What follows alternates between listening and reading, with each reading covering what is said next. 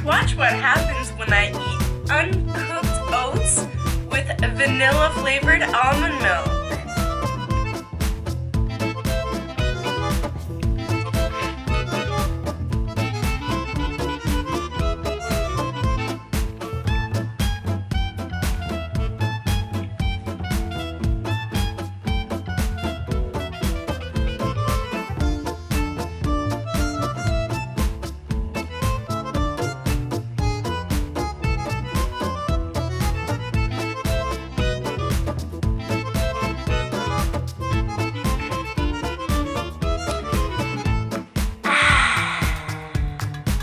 Go vegan.